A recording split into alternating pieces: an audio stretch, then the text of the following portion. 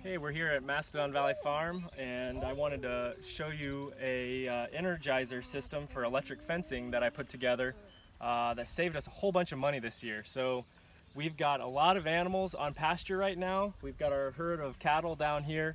Uh, we've got our flock of sheep up on the hill. Uh, we use polywire mostly for the cattle and electric netting fence for the sheep and uh, it's we're off grid here so it's been a challenge to uh, keep everything energized because there's so much fence. As our herd grows we need more and more fence to stay energized. When we first started we used these uh, energizer kits from Premier One. It's a uh, uh, it's a nice portable kit with a handle and a built-in solar panel. Uh, this unit is the 100 model the PRS 100 and it's got a one joule energizer that works on smaller se sections of fence. It works pretty well. I like it.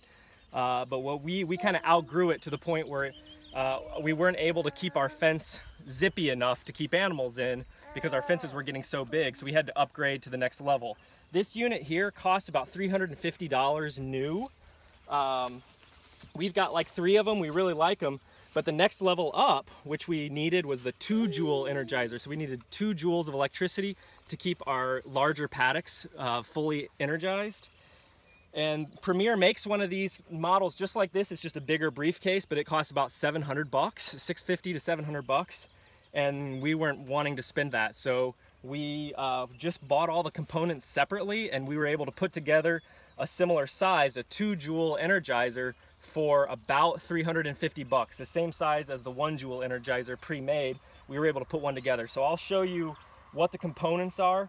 Everything you can kind of buy on Amazon, uh, or you can buy directly from Premier One separately from the main Energizer kit. So it starts out here with a 30 watt solar panel. Uh, these are pretty cheap and abundant. This was on Amazon for I think 50 bucks. This case is all it is is a waterproof toolbox. It's got a nice uh, gasket in here so it keeps everything nice and waterproof. This was only about 30 bucks. Uh, it's a pretty simple system. Here's the Energizer. It's a two joule Energizer. Nope, Tilly, don't step on that. Uh, it's called IntelliShock, so it, it actually modifies the amount of energy that it puts out uh, as there's more or less vegetation touching the fence so um, it actually saves you energy and won't wear out your battery. The, so the way this is set up is the solar panel, I just drilled a hole right here in the side. The solar panel wire goes right through here and it is connected to this charge controller right here. So we've got our batteries almost full. Uh, this is the morning, so it went all night without solar, so it's down to like 80%. This is our charge controller. Uh, so the what this does is it protects the battery from getting overcharged or uh, um, have too much energy in it. If you just plug the solar panel into it after a bunch of hot days, sunny days, you may burn out your batteries. So it protects your battery. So we have the solar panel going right into this, and then this uh, is plugged right into our batteries here. I need some better lugs, but that works for now. And then the Energizer has uh, these leads here which we put on here if we want to plug the there now. Now the energizer is cranking you can hear it clicking. Uh, then the energizer itself has leads that go out to our grounding rod system here and uh, and actually to the fence here. So now our fence is energized. Uh, the cool thing about this system is it's watch out Tilia it's pretty mobile. When I'm ready to move it I just un, un turn it off which just means unclipping this red clip. Whoa watch out then I close the latches and then all I got to do is pull out the grounding rod. I tried to tell you we're to pull out the grounding rod. Here, you can help me. Pull out the grounding rod.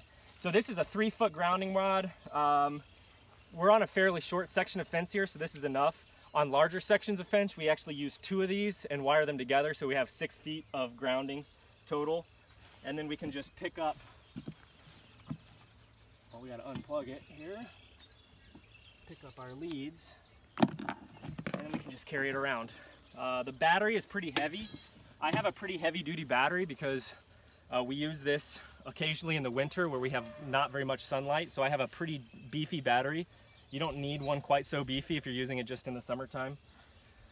Uh, but yeah, it's a pretty easy thing to set up. All the components are on Amazon and you can do the whole thing for about 350 bucks, which is about half the price of buying a kit from, uh, from Premier One. And uh, so far we have two of these systems set up, one here for the cattle and then one on the other side of the farm for the sheep. And they both work great. Uh, even when we've got a lot of tall grass that's up against the uh, electric fence, it still has a pretty good discharge. So we're really happy with this system and um, it just this year has saved us about 700 bucks. So we're pretty happy about that too.